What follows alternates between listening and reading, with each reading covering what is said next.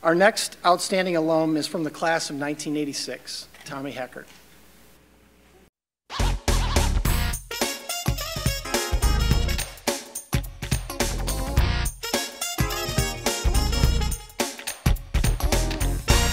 Tom Heckert, or Tommy, as he is affectionately referred to by friends and family, is from the class of 1986 and is being honored posthumously for his contributions in the area of athletics. He may have only lived for a short 51 years, but his contributions far outnumber his years. Tom was able to reach his professional goal of becoming an NFL general manager.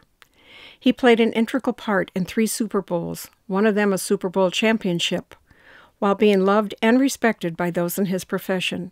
He distinguished himself well in his profession and in life. Athletics, and particularly football, were a major part of Tom's life from early on. His dad was football coach at Adrian College, and Tom tagged along as water boy, ball boy, watching films, or anything else that was needed. His sister Kim says he wore football pads to ride bikes and to Christmas dinner. His dad claims he wore them every day. As he grew older, he played football as a Springbrook Spartan and an Adrian Maple. As a Hillsdale College Charger, he was a member of their 1985 national championship team. His first coaching job was at Hillsdale as assistant coach. Soon after college graduation, Tom went to the Miami Dolphins. He displayed a mature outstanding of the subtleties that made the difference in identifying talent and potential in players. Tom impressed Coach Shula so much that he hired him to be a pro and college scout. Now Tom was working with his dad. He ended his stay with the Dolphins as director of pro personnel. He would spend 27 seasons in the NFL. His next move was to the Philadelphia Eagles from 2001 to 2005 as director of player personnel and general manager from 2006 to 2009. He was on his way up in the NFL. He was being noticed, and the Eagles made it to the Super Bowl. Then he went to the Cleveland Browns as general manager from 2010 to 2012. In 2013, he was hired by the Denver Broncos, where he remained until 2017.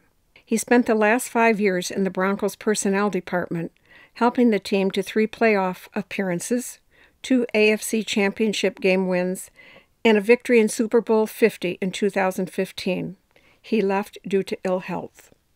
In his career, Heckert had the opportunity to play for three of the most successful head coaches in NFL history, including Don Shula, Jimmy Johnson, and Andy Reid.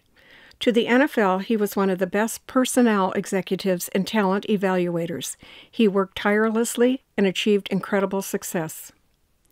Family and football were a theme through Tommy's life. The family was invited to games, and because so many traveled together, they called themselves Team Heckert. Tom even presented the family with orange sweatshirts with a big blue H in the middle to wear as team uniforms. Many of the family members who wrote supporting letters for his nomination spoke of his love of family, immediate as well as extended. He provided many events that brought the family together, and he always looked forward to gathering with them after the games. The Heckert family motto, Family and Football, carries on today. On Saturdays in the fall, you will find Team Heckert gathered together in the stands, throwing confetti and cheering on the Siena Heights University Saints football team. The family legacy continues with Tommy's nephew Noah, who currently coaches football at Siena Heights. Several cohorts and friends wrote supporting letters with touching stories about Tom. They didn't dwell on his professional accomplishments as much as his character, which they felt spoke so much about why Tom is a model for professionals as well as students. Aaron Shea, who worked with Tom at the Browns, said he was just one of those guys that people wanted to be around. He knew how to make people laugh and made hard times easier. Another mentioned he always took time for people, no matter their rank. Another observer said this about Tom You know what's special about Tom Heckert? He not only selects his teams with care, he cares about his teams once they're selected. His friends say he never forgot to do small things for others poems, songs, phone calls, or anything else to let you know he cared. One teammate and friend called Tom an authentic man and said he always focused on being the best version of himself.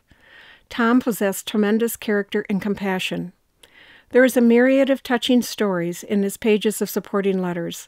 It is obvious that Tom is deeply missed. He has left an indelible legacy for the people he mentored, his beautiful children Griffin and Madison, and his family and friends.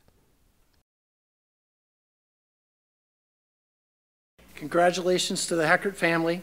Representing Team Heckert and accepting Tommy's award is his nephew Noah Bull, AHS Class of 2011.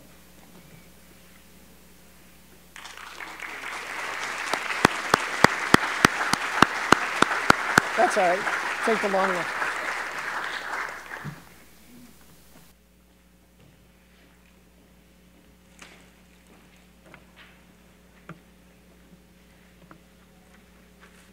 We all wish Tommy could be here tonight, but it's an honor to accept for him. Uh, there was enough time to tell the stories that everybody reached out with, so I'm going to share the three things Tommy taught me. First off, it's not what he did, but it's what he didn't do. Every day we categorize people in these roles in our life, whether coworkers, friends, family. Tommy never did that. He surrounded himself with people that he loved. His coworkers were his friends, and his friends were his family. To be successful, you have to surround yourself with positive people. The second is attitude and generosity. He taught me good or bad, you're going to impact every person you see or talk to's life one way or another.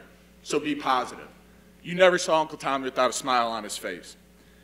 He taught me that when you can, you help, because that extra 1% on a tip, that extra one minute on the phone, or that one extra text message before bed can be the difference in somebody's life. And lastly, understanding the quality of life versus, or the quality of time versus the quantity of time. There came a point when we knew there was only so much time left. He never wanted to waste a minute. He taught me that if you sit there and you worry about how much time you spend doing something, the quality of that time suffers. But if you can sit back, laugh, love, and enjoy every minute of it, the, qua- or the quality or the quantity of that time will never matter. You have to find what you love and you have to do it. Uncle Tommy was an amazing man. He had a loving heart, and his desire to help others is why we're all here. We are just all lucky enough to be a part of his family. Thank you.